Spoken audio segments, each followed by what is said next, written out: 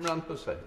Thank you, Mr Speaker, and I listen to the Minister, but the tragic reality is Islamophobia is on the rise and is rife in our society today. And if there's any doubt, speak to the Muslim community up and down this country who have to face this evil on a daily basis. And the question my constituents are asking is how can they have any confidence in this government when this government cannot even tackle Islamophobia in its own ranks? Uh, Mr. Speaker, I completely reject the accusation made by the honourable gentleman. Uh, it is completely untrue.